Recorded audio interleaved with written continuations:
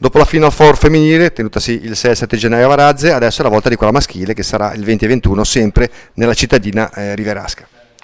Sì, il Priamar ha vinto la competizione femminile, adesso vedremo chi tra Dolce Acqua, Ospedaletti, Santa Maria e Athletic eh, sarà il vincitore di questa prima competizione di Final Four eh, di Coppa Italia per quel che riguarda il calcio a 5.